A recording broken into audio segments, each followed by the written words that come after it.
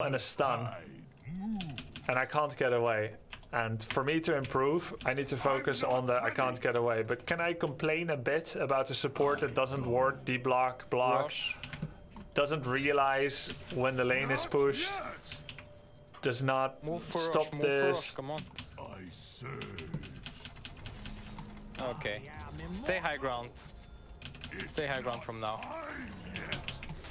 Can I like? We can fight. Let them come high ground and we wipe them there I can complain a little bit about it. They cannot dive, honestly. Unless somebody dies outside.